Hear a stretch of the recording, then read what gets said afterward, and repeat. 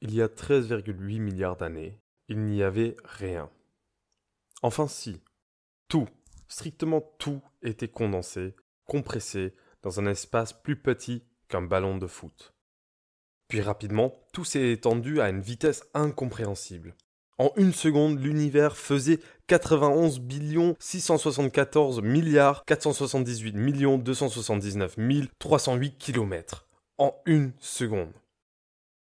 400 millions d'années plus tard, l'univers se refroidit et permet enfin aux premières étoiles de se former.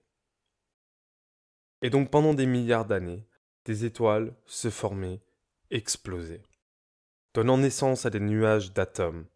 Ces nuages, au fil du temps, s'effondrent pour créer des nouvelles étoiles.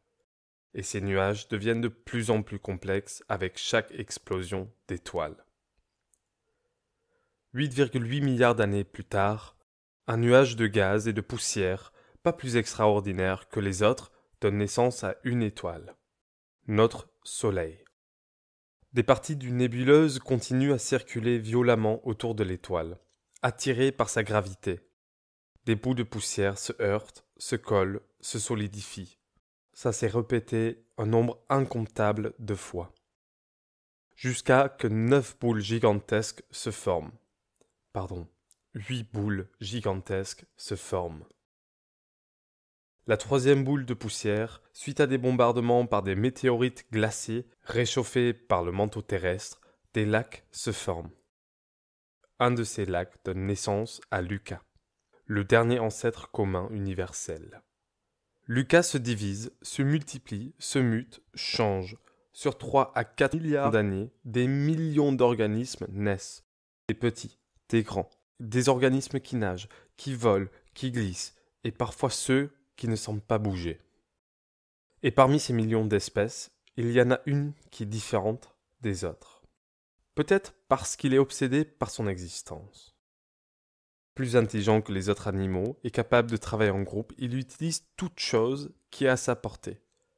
Il imagine, il raconte, il s'organise et il crée. Il se nourrit plus pour survivre, mais il plante et cultive pour les mois à venir. Et en même temps, il dompte les animaux, et puis il les compte.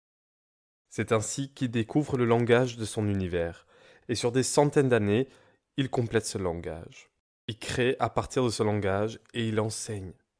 Mais il crée aussi pour dominer les autres descendants de Lucas et lui-même. Traduisant de mieux en mieux le langage de l'univers, et aveuglé par ce progrès, il en oublie l'essentiel l'interdépendance et l'importance des interactions. La peur de l'autre, de l'inconnu, a failli causer l'autodestruction de toute cette espèce qui se croit plus fort. Mais à de multiples reprises, un de ces humains fait le bon choix et l'espèce est sauvée. Mais continue à créer pour exploiter, créer et enfumer, créer pour divertir, Détruire pour créer. Non, créer pour détruire. 2020 années après la naissance de une de ses amies imaginaires, cette espèce vit quelque chose d'étrange. Par crainte d'une maladie, tout s'arrête, et cet être, qui agitait dans tous les sens, s'enferme avec ses créations. Pendant seulement deux mois, les autres descendants de Lucas, pour une fois, respirent. Il n'y a plus de bruit en continu, plus de gaz toxiques, il n'y a plus de destruction. Et pendant ce temps, ces humains, enfermés, réfléchissaient et regardaient par leurs fenêtres, confrontés à la réalité qu'ils avaient créée, cette destruction et domination de ces autres êtres, mais aussi de soi-même. À la fin de ces deux mois, une partie de ces humains voulait corriger leurs erreurs, s'opposer à la voie destructrice et dominatrice des autres, pour changer le monde. Et c'est cette année 2020 que tout allait...